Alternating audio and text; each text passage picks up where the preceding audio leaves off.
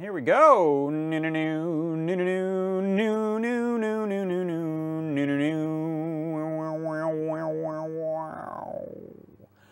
New products.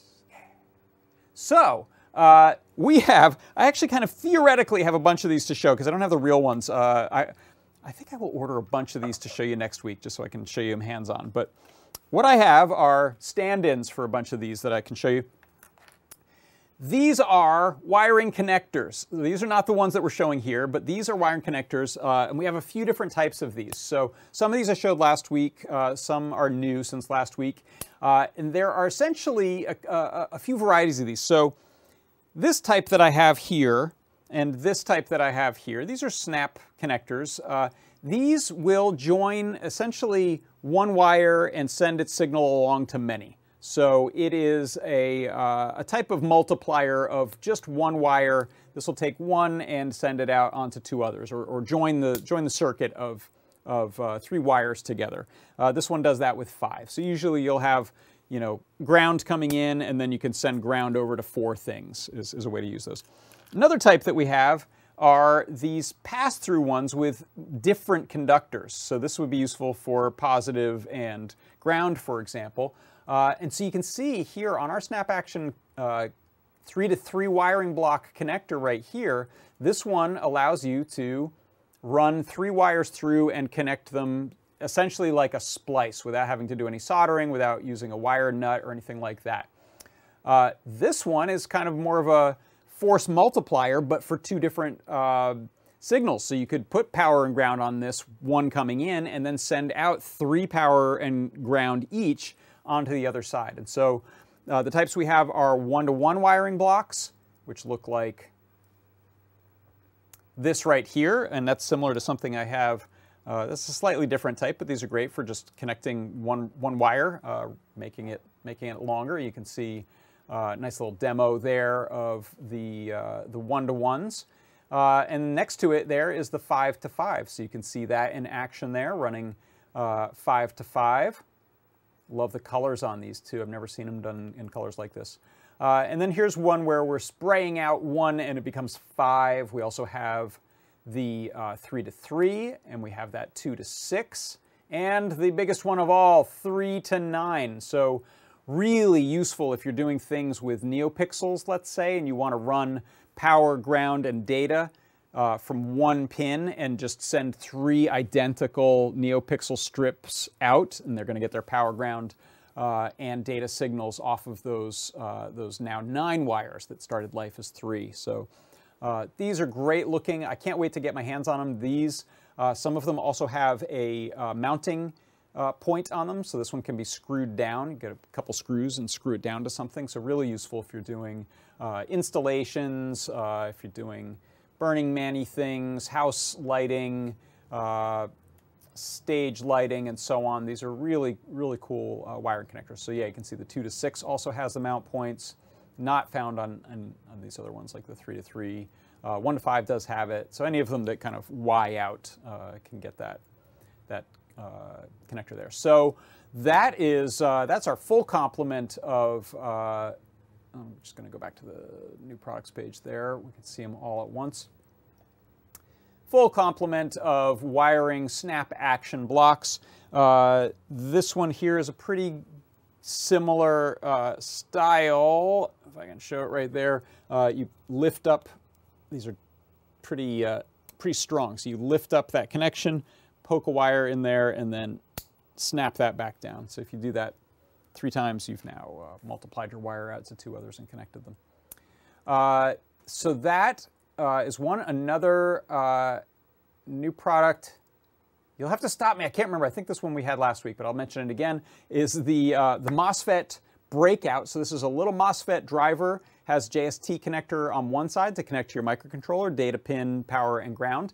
And then it has the uh, two uh, spring action uh, terminals for connecting your motor, your solenoid.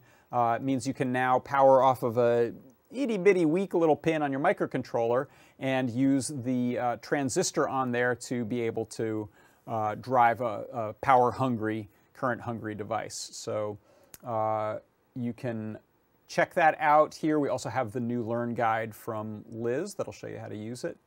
Uh, and there's a nice close-up of it there.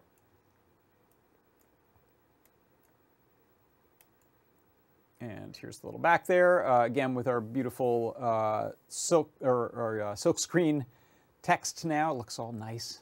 It's not all not all bumpy anymore.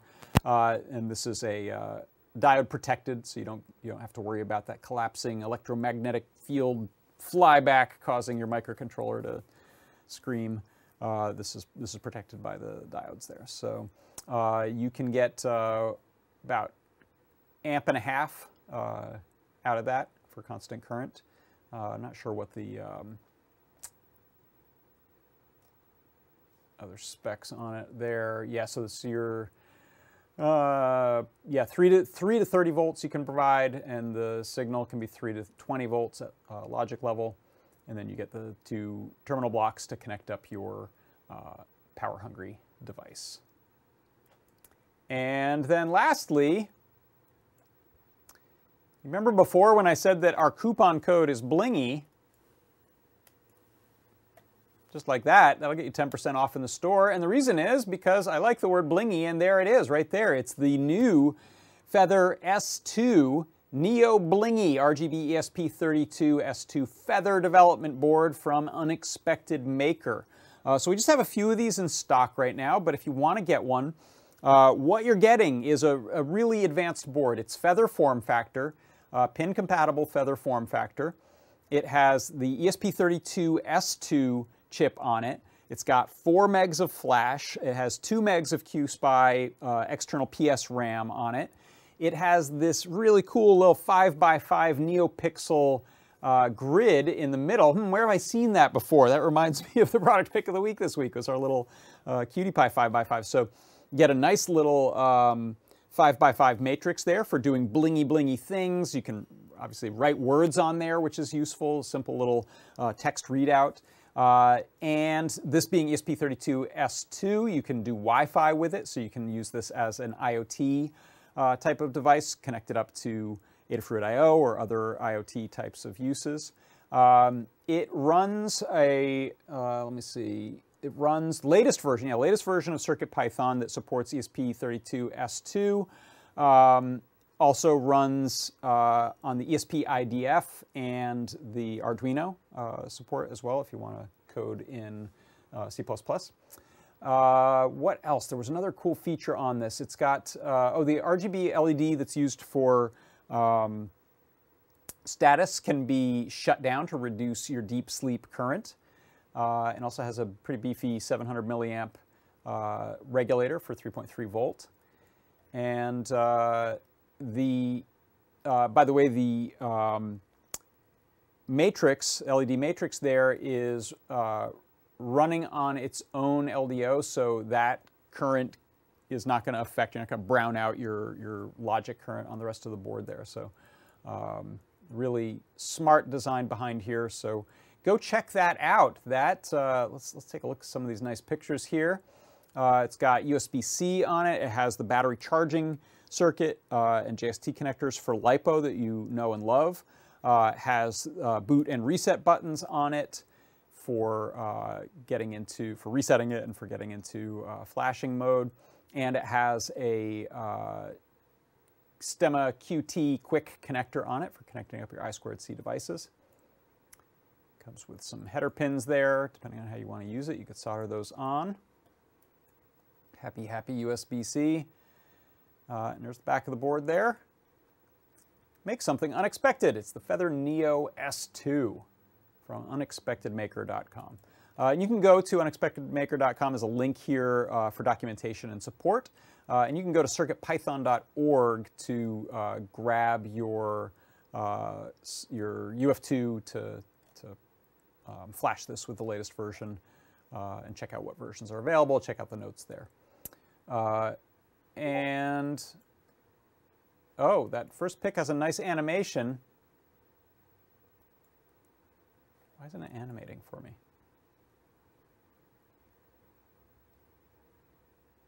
Is that the one you were talking about, Australia? Don't know why it's not animating. Spooky. Uh, all right, well, that I think is going to do it for new products.